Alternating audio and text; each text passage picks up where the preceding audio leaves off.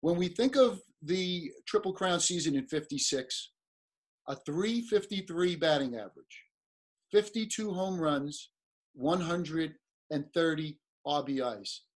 Many historians feel that was the greatest single season of all time in baseball. And when you consider his blazing speed, when you consider that he played center field, arguably one of the most important and difficult positions to play, you have to say uh, that without question, history should be kind to that season.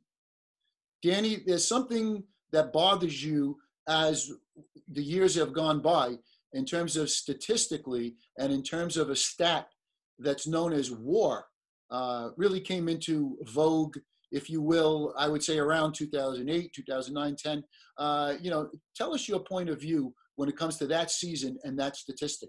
Now i don't know how that works what kind of formulas they use or whatever but anyway that was always that way and he had that number up for I don't know it seemed like years. I never looked it up because i don't know anything about it you know? So uh, one day I was looking up WAR numbers for my dad, and they had his uh, 56.